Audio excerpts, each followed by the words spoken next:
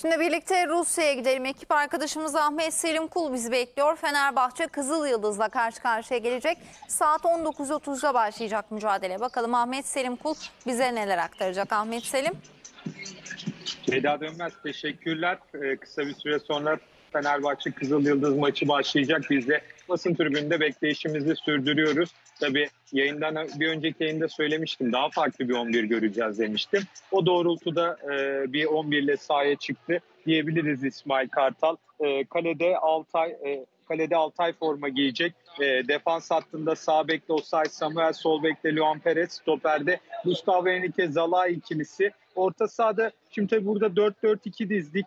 E, Ara Akreso merkezde, İrfan Can solda, e, Burak sağda, ileride Batshuayi Dzeko diye çizdik ama yüksek ihtimalle sahada şunu da görebiliriz. Hatta ya maç içinde değişmeler olacak ama İrfan Can 10 numara pozisyonunda e, Batshuayi biraz daha e, sol tarafta, Burak'a sağ tarafta ve Ceko'yu tek forvet şeklinde de maç içinde göreceğimiz anlar olacak. Burada maç içinde değişimler göreceğimizi söyleyebiliriz. Tabii ilk maçta oynayan bazı oyuncular yedek işte Kent yedek, Osterwolde yedek, e, yine o maçı ilk 11'de başlayan Serdar Dursun yedek. Burada dediğim gibi biraz daha sezon içerisindeki takıma yönelik ipuçları veren bir kadro diyebiliriz bugünkü ilk 11 için. Fenerbahçe şu anda biz Zenit'in altyapı ve Altyapı Akademisi antrenman tesislerinin olduğu yerdeyiz. Ee, Fenerbahçe dediğim gibi bu turnuvada Kızıl Yıldız ve Nefçi Bakü'yü yenerse turnuvayı şampiyon olarak tamamlayacak.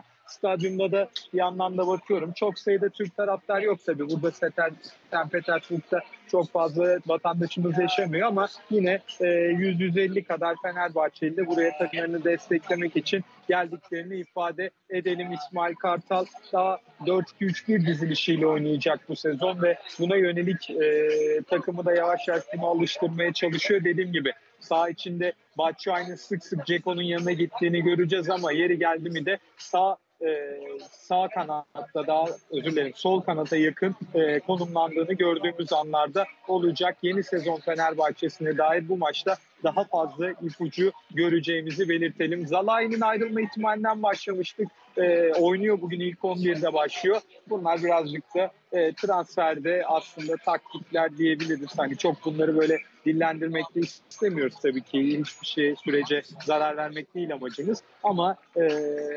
Fenerbahçe'de Pedro, Zalai, Rossi, Gustavo Henrique ki Gustavo Henrique iki maçlık ilk 11'de başlıyor. Önümüzdeki sezon e, yeni sezonda kadroda olma ihtimali e, yani neredeyse yok diyebiliriz. Çok yüksek ihtimalle yollar ayrılacak. Ama tabii ki burada birçok transfer stratejisi var. Oyuncuyu gösterme, oyuncuyu parlatma, oyuncuyla ilgilenen kulüplere oyuncuya dair bir veri sunabilmek üzerine e, farklı stratejiler olabiliyor transferde. O yüzden her tercihi, her hamleyi direkt olarak transferle oyuncunun takımdaki durumuyla da bağdaştırmamak gerekiyor. Unutmayalım Fenerbahçe en azından bir 5-6 tane hazırlık maçı yapacak. Tabii sayı biraz daha düşebilir. Öneleme maçı var konferans liginde. O maçlarda hazırlık maçı havasında demek istemiyorum ama Fenerbahçe'ye göre çok zayıf rakiplerle oynanacak. Bu yüzden e, o maçlara oranla daha böyle Fenerbahçe'nin ne oynamak istediğini gösteren kadrolara doğru gideceğimizi bu tip durumlarda, bu tip maçlarda daha